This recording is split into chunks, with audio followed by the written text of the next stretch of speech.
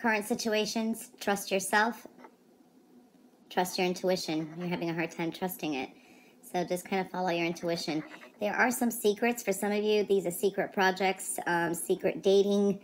Um, something is on the down low. So I'm seeing that. Man, that's been going on for a few weeks. Not just for Gemini. I'm seeing it in different signs. So seeing that kind of energy and follow your intuition. So that is a base, strong energy here too. So having a hard time trusting yourself with um, the intuition. There's some secretive energy. So I do see that. Um, definitely good theme this week is um, socializing, get-togethers, and some kind of celebration.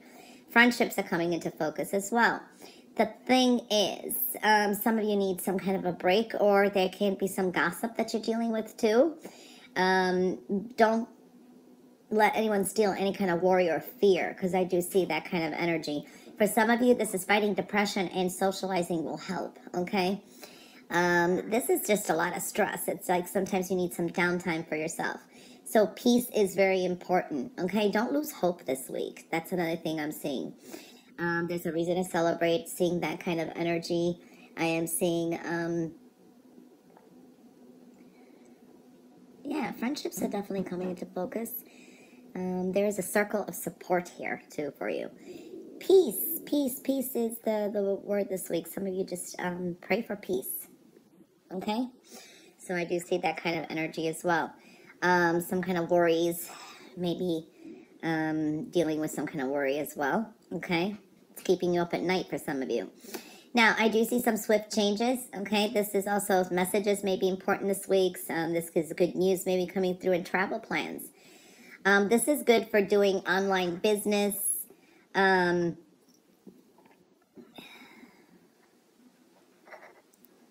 social media, very good energy here if you do have online businesses. So I'm seeing that kind of energy as well. The letter S is uh, showing up as well. And the number five, which is some adjustments and changes. All right, new love is coming in for some of you, okay? Or this is a renewal. You got a new beginning with love. This is looking good. For some of you, this is emotional validation. This is good if you got, like, if you're online dating as well. You may meet your match this week if you've been sing a single, so I do see that. There's a proposition of love from what I'm seeing as well, but it's a new beginning with it.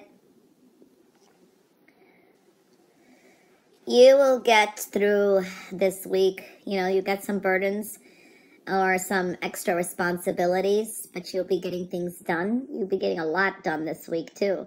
There is a sense of uh, completing your tasks, uh, completing your projects, completing um, your heavy workload for some of you, okay? And it's going to be like a relief towards the weekend is what I'm feeling here. All right. I see you got a lot of options before you too, okay? So there's a lot of um, options before you, and this is in few areas in your life too.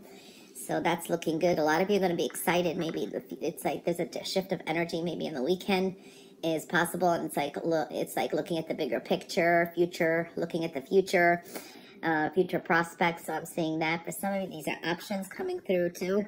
And picking and choosing wisely. Uh, definitely seeing that energy too.